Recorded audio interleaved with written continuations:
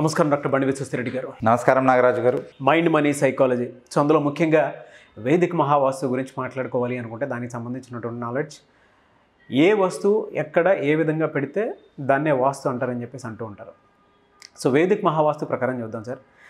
ఏ ఏ things ఇంట్లో ఏ side పెడితే మీరు సైంటిఫిక్గా కూడా చెప్తూ ఉంటారు. లెఫ్ట్ బ్రెయిన్ రైట్ బ్రెయిన్ దానికి సంబంధించింది కూడా. ఏవి ఏ విధంగా ఉంటే ఖచ్చితంగా ప్లజెంట్గా కానివ్వండి లేదా ధనాకర్షణ కానివ్వండి లేదంటే అదర్ థింగ్స్ మన కలిసి వచ్చే అంశాలు ఉంటాయంటారు Shiva Om welcome to my home lucky home Vedic MahaVastu and Manisutra ఇక్కడ వస్తువుల అమరికనే వాస్తు అని చెప్పుకున్నాం. అవి వేదిక్ మహావాస్తులో ఉండే సిక్స్టీన్ జోన్స్లో ఎక్కడ ఏ వస్తువు ఉంటే అది మనకు పాజిటివ్ ఎనర్జీని ఇస్తుంది ఎక్కడ ఏది ఉంటే అది మనకు ఎనర్జీ డిప్లీషన్ అంటే నెగిటివ్ ఎనర్జీని ఇస్తుంది అనేది మనం తెలుసుకుందాం అలాగే మన బ్రెయిన్ కూడా ఇంట్లోకి ఎంటర్ అయిన తర్వాత రైట్ సైడ్ బ్రెయిన్ ఆర్టిస్టిక్గా ఆలోచిస్తే లెఫ్ట్ సైడ్ లాజిస్టిక్గా ఆలోచిస్తుంది. లాజికల్గా అనలైజ్ చేసుకుని మ్యాథమెటికల్ ఈక్వేషన్స్తో వస్తుంది అన్నట్టు ఈ రకంగా బ్యాలెన్సింగ్ ఉంటుంది లైఫ్ అంతా. అలాగే ఇంట్లో కూడా జోన్స్ బ్యాలెన్సింగే నథింగ్ బట్ వాస్తు.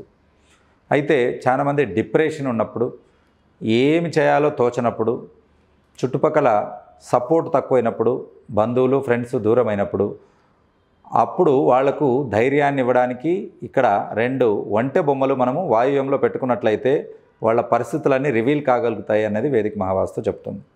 ఓకే. ఎలా సార్? వాటిలో ఏ ఏ మీనింగ్ ఉంటుందని? ఒంటె బొమ్మలు. అసలు ఒంటెల గురించి ఫస్ట్ ఏంటో తెలుసుకుందాం. ఏదైనా ఒక జీవిని మనం చూసినప్పుడు what we use to say universe భావాలను తీసుకుంటుంది భాషను కాదు అని మనం చెప్పుకున్నాం. కాబట్టి వంటను ఎప్పుడు చూసినా మనకి ఏం గుర్తుకొస్తుంది వంట మనకి ఏం నేర్పిస్తుంది అనేది ఫస్ట్ చూద్దాం. వంటను క్యామెల్ అంటాం. ఎడారి ఓడ అని అంటాం. ఎడారి ఓడ అంటే ఏంటి? ఓడ అనేది సముద్రంలో తిరగాలి మామూలుగా అయితే.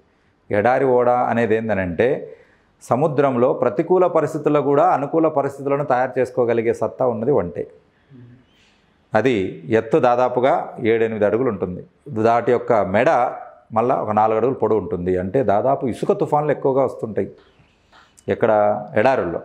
అలా వచ్చినప్పుడు కూడా అది వంట తలను పైకి పెట్టుకొని ఆ తుఫాన్ల బారి నుంచి కూడా తప్పించుకోగలదు. ఎవరు తప్పించుకోలేరు. వంట ఒకటి తప్పించుకోగలదు. అంటే కొన్ని మీటర్ల మేరకు ఇసుక కోరుకుపోయినా తల ఒక్కటి బయట పెట్టుకుంటుంది చిన్నగా బయటకు వచ్చేస్తుంది. అంటే ప్రతికూల పరిస్థితుల్లో కూడా అనుకూలంగా పాజిటివ్నెస్ మనకు నేర్పిస్తుంది ఆ పోరాడే శక్తిని మీకు ఇస్తుంది. అలాగే వీటితో పాటు ఇది వన్ వీక్ వరకు ఒక వారం వరకు నీరు తాగకపోయినా బ్రతకగలుగుతుంది మిగతా ఏ జీవి అటువంటిది భూమి మీద లేదు. ఎవరైనా సరే అదొక మోటివ్ కింద తీసుకోవచ్చు. కంపల్సరిగా తీసుకోవాలి. ఎందుకంటే బ్లడ్ షుడ్ రన్. బ్లడ్ పారితేనే మనకు జీవం అనేది ఉండదు. బ్లడ్ పారడం ఆగిపోతే రక్తం గడ్డగట్టిపోతే చనిపోతారు. కాబట్టి రక్తంగా సరసర నీకు ఒక వారం వరకు నీళ్ళు తాగకపోయినా అది బతకగలుగుతుంది. ఎలాగని అంటే దాని శరీరమే జనరల్గా మనకు నీళ్ళు తాగాక నీళ్ళు how will lose our water అని అంటే త్రూ స్వెట్ చెమట ద్వారా మనం నీటిని కోల్పోతాం. కాబట్టి వాటికి చెమట అనేదే పట్టదు. చర్మం చాలా మందంగా ఉంటుంది. అన్నిటికంటే మందమైన చర్మం కలిగి ఉంటుంది వంటే. కాబట్టి నీటిని కోల్పోదు. కాబట్టి మనకు రిసోర్సెస్ ఏదైనా తీసుకుంటే అంత ఈజీగా పోగొట్టుకోకూడదని మనకు వంట నేర్పిస్తుంది. అని అంటే డైలీ దొరికితే డైలీ తాగుతుంది. దొరకనేటప్పుడు వన్ వీక్ వరకు అయినా అలాగే తాగకుండా ఉంటుంది. ప్లస్ పని చేస్తుంది మళ్ళీ. పని చేయకుండా కూర్చోదు. పని చేస్తూ చేస్తుంది. అలాగే అక్కడ విపరీతమైన టెంపరేచర్ ఉంటుంది. పగలు చూస్తే వేడి టెంపరేచర్ రాత్రి చూస్తే అతి చలి. ఎడారుల పరిస్థితి ఏంటంటే పగలేమో విపరీతమైన వేడి రాత్రి అతి చలి. ఎందుకనంటే ఇసుక ఈజీగా హీట్ ఎక్కిపోతుంది సన్ హీట్కు. ఫాస్ట్గా చల్లబడుతుంది. భూమి అంత ఈజీగా హీట్ ఎక్కదు కాబట్టి మనకు చలి ఎండ తక్కువ. కాబట్టి చలికి ఎండకు తట్టుకోగలిగే చర్మం కలిగి ఉంటుంది అని అంటే చూడండి ఒక్కటేసారి క్వైట్ ఆపోజిట్. ఎండ వేడిని కూడా తట్టుకోగలిగే చర్మము తట్టుకోగలిగేది ఉండేది ఎడారి ఓడ వంటే. కాబట్టి అంతటి ఎక్స్ట్రీమ్ టెంపరేచర్ ఎక్స్ట్రీమ్లో టెంపరేచర్స్ని కూడా తట్టుకొని నిలబడుతుంది. అది మనకు పరి ప్రతికూల పరిస్థితుల్లో హౌ టు ఫైట్ అనేది మనకు నేర్పిస్తుంది. అందుకే దాన్ని చూస్తే దాని ఎనర్జీ వస్తుంది అని చెప్పేసి. వాటితో పాటు వాటి ఫ్యాట్లు లంప్స్ రూపంలో పెట్టుకొని ఉంటుంది ఫ్యాట్స్ హంప్స్ అంటారు. ఇవి అవసరం ఉన్నప్పుడు కరిగించుకొని తనకు అనుకూలంగా వాడుకుంటుంది. అని అంటే టెంపరేచర్ కంట్రోల్ చేయడానికి ఉపయోగ ఉపయోగపడతాయి. అవి ఏం నేర్పిస్తుంది అంటే మనకు కూడా ఎప్పటికి కూడా emergency energy reserves energy resources అనేది ఉండాలి. మనకు ప్రతికూల పరిస్థితుల్లో అత్యవర పరిస్థితుల్లో కూడా మనకు ఉపయోగించుకోవడానికి అన్న విషయం మనకు నేర్పిస్తుంది. ఇసుకలో కాలు పెట్టంగానే మనకు మోకాల్లో కూరుకుపోతాం మనం. అటువంటిది వాటికి గిట్టలు చీలి ఉంటాయి. పెట్టంగానే అక్కడికి ఆగిపోతుంది. కాబట్టి ఎస్- ఈ ఎడారిలో నడవడానికి వీలుగా వాటి గిట్టలు చీలి ఉంటాయి. అంటే ఆ ఎడారి వాతావరణానికి అనుకూలంగా అన్నీ ఉంటాయి. యూనివర్స్లో ఉండే గొప్ప గుణం ఏంటనంటే అది పిల్లల్ని కనేటప్పుడు ఈవెన్ జిరాఫీ కానీ వంట కానీ ఆరు నుంచి ఏడు అడుగుల నుంచి పిల్లల్ని జారేడిస్తుంది. చిన్న ఫ్రాక్చర్ కాదు అది. సి హౌ నేచర్ ప్రొటెక్ట్స్ అన్నది. కాబట్టి ఇవన్నీ కూడా మనము వంటను చూసి నేర్చుకోవాలి.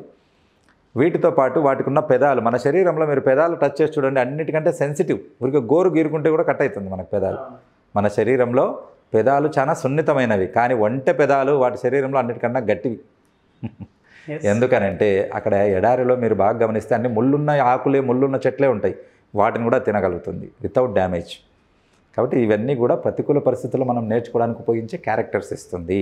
ఎక్కువగా డిప్రెషన్లో ఉన్నవాళ్ళు ఎవరిని చూసినా వ్యతిరేక ఆలోచనలు ఉన్నవాళ్ళు ఈ ప్రపంచమంతా ఇంతే అందరూ నాకు చెడు చేసేవాళ్ళే అందు ఎవరు సపోర్ట్ చేసేవాళ్ళు కాదు అనుకునే వాళ్ళు మాత్రం ఇది బాగా సూపర్గా పనిచేస్తుంది. అలాగే ఈ ఒంటెలను చూసిన తర్వాత ఆర్థిక ఇబ్బందులో ఉన్నవాళ్ళు డిప్రెషన్లో ఉన్నవాళ్ళు ఇంకా ఏమీ ఫ్యూచర్ లేదు అని డిప్రెషన్కి సాడ్నెస్లో ఉన్న వాళ్ళందరూ కూడా వీటిని చూస్తే వెయ్యి ఏనుగులంత బలం వస్తుంది మీకు కాబట్టి వీటితో పాటు ఒంటె యొక్క పాలు కూడా అన్నిటికన్నా ఉన్నత శ్రేష్టమైనదిగా చెప్పబడతాయి.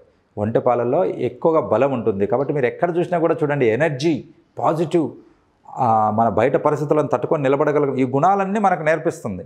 కాబట్టి మనం వాటిని చూస్తూ చూస్తూ చూస్తూ మనం కూడా వాటి నుంచి ఈజీగా బయటపడగలుగుతాం అన్నట్టు. కాబట్టి మనకి ఏంటి ఇప్పుడు ప్రమోషన్ లేకుండా ఇబ్బంది పడేవాళ్ళు ఉద్యోగాలు పోగొట్టుకుని బాధపడేవాళ్ళు చుట్టుపక్కల గడ్డు పరిస్థితిని ఎదుర్కొనేవాళ్ళు. భగవంతుడా ఈ పరిస్థితి మళ్ళీ మళ్ళీ రాకూడదు అని అనుకునేవాళ్ళు. వాళ్ళు ఒక జత వంటలను మీరు తెచ్చిపెట్టుకోవచ్చు. పెద్దగా ఖరీదు కూడా కావు. కాబట్టి మీరు తీసుకొని ఎక్కడ పెట్టుకోవాలంటే నార్త్ వెస్ట్లో పెట్టుకోవాలి. వేర్ నార్త్ వెస్ట్ ఎండ్స్ దాన్ని నార్త్ వెస్ట్ అంటారు. వాయుము అని అంటే ఉత్తరము పడమర రెండు కలిసే చోట వాయుము అంటారు. మరి అక్కడ పెట్టుకోవడానికి విషయం ఏంటంటే that is support zone support from whom ఎవరి నుంచి సపోర్ట్ జోన్ అది? బ్యాంక్స్ నుంచి అని అంటే మీకు ఏం కావాలి? ఇప్పుడు సపోర్ట్కి వచ్చి బ్యాంకులోంచి ఏదన్నా లోన్ వస్తే మీ బిజినెస్ మీరు పెట్టుకోగలుగుతారు. ఫ్రెండ్స్ నుంచి ఫ్యామిలీస్ నుంచి రిలేటివ్స్ నుంచి వాళ్ళందరూ అయ్యా నేను ఉన్నాను మీకు ఏం భయపడొద్దు అని పది మంది బాగా ధైర్యం చెప్పగలిగే వాళ్ళు కావాలి. అది మానసిక ధైర్యం కావచ్చు కొంత ఆర్థిక ధైర్యం కావచ్చు డబ్బు కావచ్చు లేదా ఎక్కడైనా రికమెండేషన్ కావాలి నీకు జాబ్ లేదా? అదో నాకు పరిచయం ఉన్న అతను ఉన్నాడు ఆ కంపెనీకి వెళ్ళి నీకు జాబ్ ఇప్పిస్తాడు. లేదా నా దగ్గర ఓ పని ఉంది నువ్వు చేస్తావని వర్క్ ఇవ్వడం కానీ ఈ రకంగా ఈ సపోర్ట్ జోన్ అన్నట్టు ఇది బ్యాంక్రప్ట్లకు మంచి ఫ్యూచర్ ఇచ్చే జోన్ అది. అంటే దివాలా తీసిన వాళ్ళని కూడా అక్కడ నుంచి లేపగలుగుతాం మనం. అటువంటి జోన్ కాబట్టి అక్కడ మీరు వంటలు పెట్టుకుంటే ఈ శక్తి ఆ శక్తి రెండు కలిసి మీకు ఒక కొత్త మంచి life new starting new beginning చేయడానికి మీకు ఉపయోగపడుతుంది. కాబట్టి ఈ యూనివర్సల్ కాన్సెప్ట్ ఉన్నటువంటి వంటి బొమ్మలను జతగా పెట్టుకోండి రెండుగా ఎప్పుడు. ఎందుకంటే యూనివర్స్ ఎప్పుడు రెండింటిని యాక్సెప్ట్ చేస్తుంది కాబట్టి ఆ రెండు బొమ్మలను మీరు వాయువులో పెట్టుకున్నట్టయితే వాటి ఎనర్జీ మీకు ఉపయోగపడుతుంది. కొత్త జీవితాన్ని న్యూ బిగినింగ్ న్యూ లైఫ్ మీరు స్టార్ట్ చేయొచ్చు. ఇక్కడ మనము రైట్ బ్రెయిన్ వచ్చేసి ఆర్టిస్టిక్ లెఫ్ట్ లాజిస్టిక్ అని మనం చెప్పుకున్నాం. ఇంట్లో ఎంటర్ అవ్వగానే మనకు నార్త్ వెస్ట్ రైట్ సైడ్ వస్తుంది. నార్త్ నుంచి కానీ ఈస్ట్ నుంచి ఎంటర్ అయినప్పుడు. కాబట్టి ఎప్పుడైతే రైట్ బ్రెయినింగ్ మనం వచ్చామో రైట్ బ్రెయినింగ్ మనకు ఏం నేర్పిస్తుందంటే హార్డ్ వర్కింగ్ నేర్పిస్తుంది. ఆ దీక్ష పట్టుదల కసి అనేది నేర్పిస్తుంది. కాబట్టి మనము రైట్ సైడ్ ఉన్నటువంటి నార్త్ వెస్ట్లో అవి పెట్టమని చెప్పాం. ఓకే. మీరు ఉన్నటువంటి పద ఉన్నటువంటి ప్రదేశాలు అవి స్కూల్స్ కావచ్చు వ్యాపార ప్రదేశాలు కమర్షియల్ కాంప్లెక్స్లు షాప్స్ కావచ్చు లేదా ఫ్యాక్టరీస్ కావచ్చు ఎక్కడైనా మీరు ఎంటర్ అయిన తర్వాత మీ దగ్గర ఉన్నటువంటి స్టాఫ్లో కూడా ఇటువంటి గుణాలు ఉన్నాయనుకోండి వాళ్ళు నిర్వీర్యంగా ఏమి శక్తి లేనట్టుగా ఎప్పుడూ నెగిటివ్గా డిప్రెషన్గా మాట్లాడుతూ ఉన్నారనుకోండి అటువంటి ప్లేసెస్లో కూడా మనము రైట్ బ్రెయిన్ మనకు ఇక్కడ ఆర్టిస్టిక్గా వాటిని లిఫ్ట్ చేసేదిగా ఉపయోగపడుతుంది కాబట్టి వాటిని నార్త్ వెస్ట్లో పెట్టండి.